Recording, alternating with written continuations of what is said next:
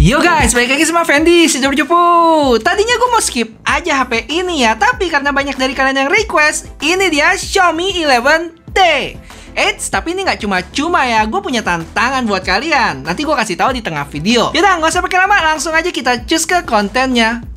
Oh ya, jangan lupa bantu. Thank you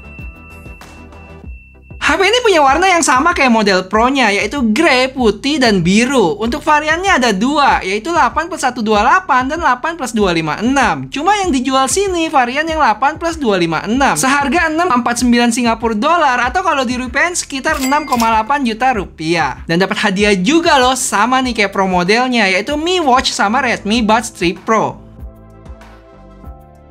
Karena gue mulai bosen, jadi express aja ya unboxingnya. Pertama kita buka plastik luarnya. Habis itu ada SIM injector, buku nggak jelas, casing clear elastis, kabel chargeran Type A ke Type C, dan kepala charger 67 watt. Dah. Saat dinyalain langsung disambut oleh MIUI 12.5 berbasis Android 11 dengan storage yang udah kemakan 25,4 GB dari total 256. Habis itu untuk skor Antutunya dia dapat 600 ribuan dan ini dia Geekbench dan 3D Max-nya. Impresi gue tentang HP ini Mirip sih kayak versi Pro-nya ya. Dan buat yang belum nonton bisa cus ke sana karena gue nggak bakal ulangin lagi di sini. Cuman warna birunya itu gue lebih demen sih karena dia bukan tipe yang glossy gitu. Jadi sidik jarinya nggak gampang nempel. Dan birunya ada efek-efek gradasi yang bikin tambah menarik. Sisanya layar 6,67 inch, kamera selfie di tengah, bezel cukup tipis dan Gorilla Glass Victus. Terus untuk sekeliling HP ini sama juga ya kayak versi Pro-nya, kecuali bagian atas, di mana versi non Pro-nya itu nggak ada tulisan Sound by Harman Kardon. Lanjut kita ke spesifikasi HP ini yang mirip juga dengan versi Pro-nya di mana layarnya yang punya ukuran 6,67 inch, AMOLED, 120Hz, 1000 nits dan lainnya. Untuk perbedaan yang mendasar di sini dari sisi performance di mana untuk versi non Pro-nya ini dia pakai chipset MediaTek Dimensity 1200 Ultra dengan fabrikan 6 nanometer. Terus dia juga punya cooling system yang namanya Vapor Chamber Cooling Technology. Untuk baterainya 5000 mAh juga, sedangkan chargingnya cuma support sampai 67 watt ya, yang diklaim ke 100% dalam 36 menit. Spesifikasi kameranya pun juga sama loh, 108 megapiksel wide, 8 megapiksel ultra wide, habis itu 5 megapiksel telemakro dan 16 megapiksel selfie. Cuman karena chipsetnya beda, ada kemungkinan foto yang dihasilkan sama videonya ya bisa punya karakter yang beda loh. Nanti coba kita lihat ya di sampel foto dan videonya. Spek lainnya dia udah 5G, dual speaker, Dolby Atmos, high-res audio, tapi nggak ada sound by Harman Kardon. Terus NFC sama Wi-Fi 6.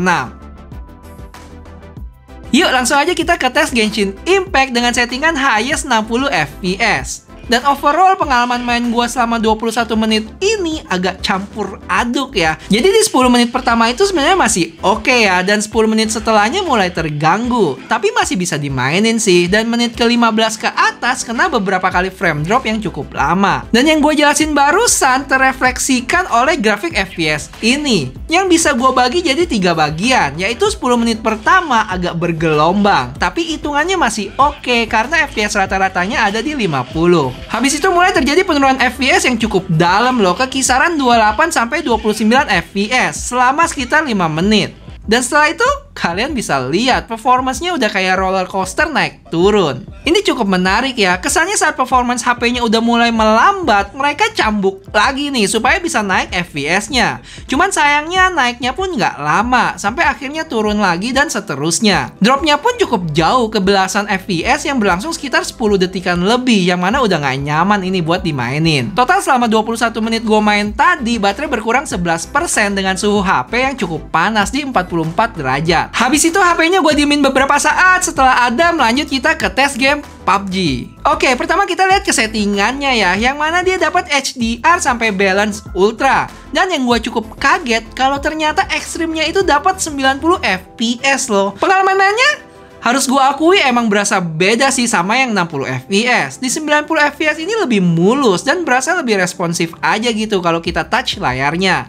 Terus kalau kita cek grafiknya juga cukup stabil. Cuma gue berasa agak lag dikit aja di awal game, tapi habis itu aman. Dan kalau kalian lihat ada turunan tajam di sini, ini adalah pergantian game ya. Jadi di game pertama itu gue nggak sampai 2 menit udah KO. Oh ya untuk gyronya cukup responsif kok, kayak yang kalian bisa lihat di sini. Total gue main sekitar 28 menit dan baterai berkurang 10% dengan suhu yang hangat ke panas atau lebih tepatnya sekitar 38 sampai 39 derajat. Untuk kamera apps-nya juga sama ya kayak versi Pro-nya. Cuman yang beda di sini adalah resolusi videonya, yaitu mentok di 4K 30 fps kamera belakang dan depannya itu 1080p 30 fps.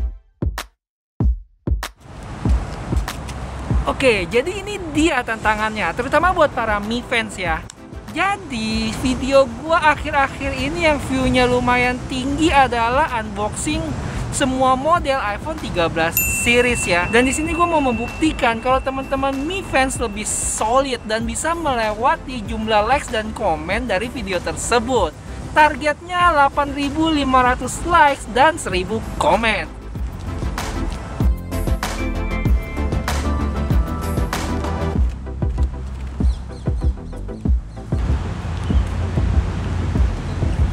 Dan kalau tembus, gue bakal bikin video perbandingan terlengkap yang pernah gue bikin antara Xiaomi 11T dengan Xiaomi 11T Pro. Bakal seru banget deh. Dan ingat ya, video perbandingan di channel ini bukan kaleng-kaleng. Kalian bisa cek deh video-video gue sebelumnya. Rame peminatnya kok. So, gimana teman-teman Mi fans? Siap terima tantangan? Kalau semua kompak 8500 like sama 1000 komen enteng lah itu. Dan gue nggak minta viewnya ya karena gue tahu 185.000 views itu agak berat. Bener nggak? Atau gue salah? Oh ya ini sebenarnya gue juga pengen membuktikan sih kalau algoritma YouTube ini bisa dipermainkan nggak sih? Jadi yuk ikutin tantangannya guys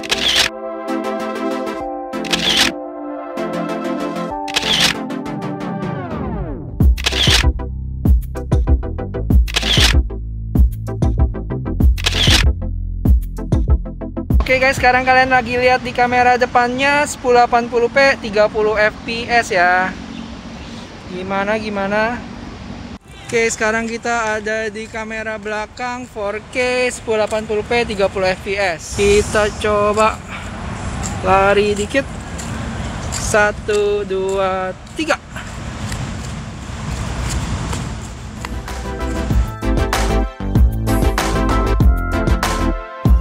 Oke, gue kasih spoiler dulu dikit lah ya perbandingan antara Xiaomi 11T sama Xiaomi 11T Pro.